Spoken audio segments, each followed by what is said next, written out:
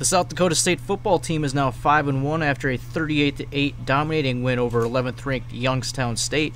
The Jacks played great defense, holding the Penguins to just two field goals offensively and 278 yards, nearly a quarter of which came on their last drive. Well, they came close to doing what we claim we're going to do every day, and that's play like it's our last play.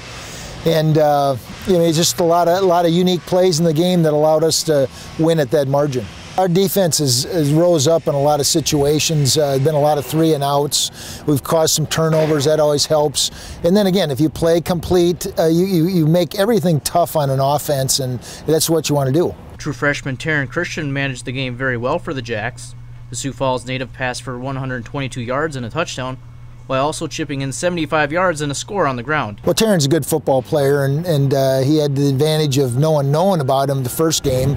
And uh, second game against Youngstown, he came through and performed very well. So we're really happy with his progress. And right now, he's still number two on our depth chart, but he's doing well. As for the starter this week, Stig says that's dependent on the health of Zach Lujan. It's a normal week for us, you know. Uh, Zach Lujan is rehabbing, uh, trying to get healthy uh, so he can be 100%. When he's 100%, he's our number one, and then we're going to figure out how to deal with both quarterbacks at that point. Kyle Paris led all Jackrabbit running backs with 27 carries for 128 yards and a pair of scores.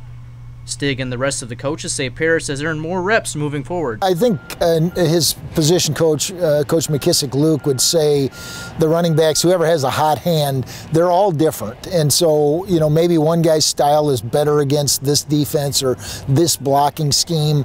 Uh, bottom line is we have three really good running backs. Up next is Northern Iowa. The Panthers are just 2 and 4 on the season, but their record doesn't indicate just how talented they are.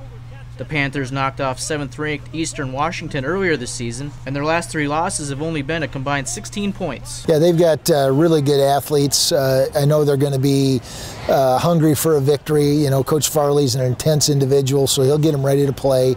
Uh, we need to be ready to play our best football, and, and uh, we've done that at times. We, we did it last week, so it doesn't matter the opponent. It's about us playing our best.